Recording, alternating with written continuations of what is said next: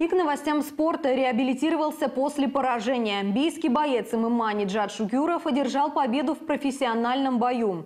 Турнир Сибирской бойцовской лиги прошел в Бердске. И бой, в котором принял участие наш земляк, признали самым зрелищным на этом турнире.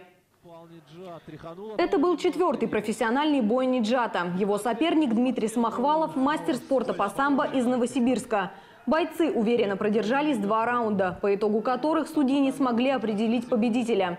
Поэтому был назначен дополнительный раунд, в котором биячанин проявил себя более активно. Единогласным решением судей победу присудили Ниджату. Отметим, что эта лига – уровень Сибирского федерального округа. В планах убийского бойца выйти на более высокий уровень. Он мечтает выступать за рубежом. Добавим, Ниджат Шукюров – выпускник Бийской школы самбо. Он посвятил этому виду спорта 11 лет. Имеет звание кандидата в мастера спорта по самбо и дзюдо. В смешанные боевые единоборства перешел чуть больше трех лет назад. И сейчас тренируется в спортклубе «Спарта» под руководством тренера Дмитрия Касьянова. Dios vive tu